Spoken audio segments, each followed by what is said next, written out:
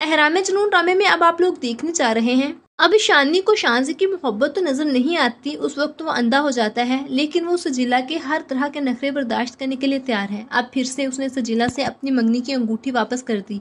अब हो सकता है कि वो सजीला से शादी भी कर ले, जिसके बाद भी शानजे हार ना माने और अपने माँ बाप से कहे कि कागज़ के दो टुकड़े किसी के दिल से किसी के लिए मोहब्बत खत्म नहीं कर सकते। मैं फिर भी शानी का इंतज़ार करूँगी। लब जब के उसके बाद भी। सजीला शानी पर शक करती रहे कि तुम शानजे से क्यों मिलते हो? उसे अपना पीछा छुड़वाओ। मैं नहीं देख सकती कि तुम शानजे के साथ रहो। जिसके बाद शानी फैसला कर लेगा कि वो सजीला को खुश करने के लिए शानजे को छोड़ दे।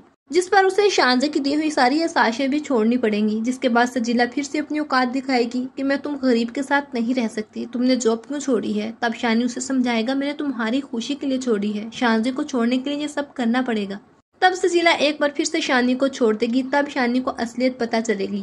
सजीला के पास सवाए लालच के और कुछ भी नहीं, ना तो मोहब्बत, ना ही किसी को देने के लिए इज़्ज़त।